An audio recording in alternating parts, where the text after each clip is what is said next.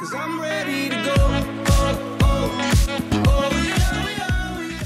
好大家好，欢迎收看这一次的影片。不知道各位最近打最近的赛事打得怎么样？虽然游戏里面有非常多的 bug，但是小弟我还是有将近期的赛事都打好打满这样子。那今天就要来评论一下这几次赛事的奖品，分别是这个蓝龙飞车跟不死鸟战斗机。首先来讲一下蓝龙飞车，它的外观是蛮有趣的啊，是一只龙。性能的话是我个人是觉得非常好的，应该是游戏里面数一数二强的。然后它又可以升级，等级五的时候可以有隐形的功能，然后等级十的时候就可以用氮气推进，所以我觉得是一台算很全能的一台车子。那不死鸟战斗机的话，我觉得应该有不少人跟我有一样的问题，就是它等级时候它的功能到底是什么？官方的翻译它是火力惊人还有威力惊人，我忘记了。但我自己测试后状况好像不是这个样子。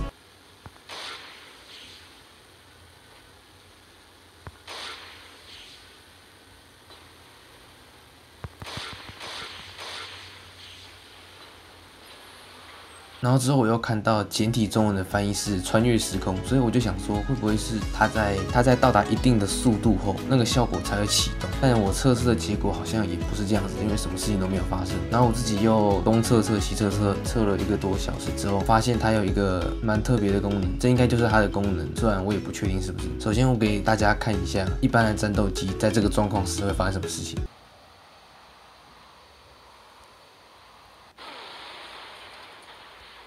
然后这是不死鸟战斗机在发生那个情况下会发生的事情。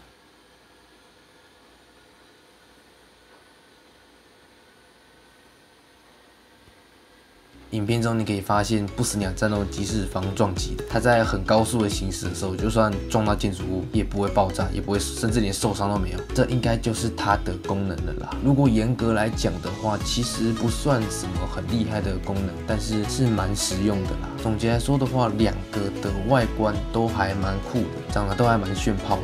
然后功能的话也不差。如果各位在两个在犹豫说要升级哪个的话，可以看完影片后再去看看吧，看看你是需要什么样的交通工具。那希望这部影片对你有帮助。那今天影片就到这边，如果喜欢的话可以按喜欢订阅我的频道。那我们下个影片见，拜拜。